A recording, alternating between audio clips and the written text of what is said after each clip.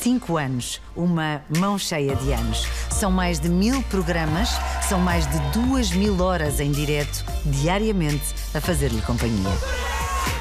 Esta viagem começou em 2019 com tantas emoções, tantas histórias, tanto do que a vida deve ser. Vamos celebrar esta data juntos em Marvão numa emissão muito bonita e especial. Conto consigo para seguirmos juntos rumo ao futuro. Obrigada. A nossa tarde, esta segunda-feira, na RTP 1.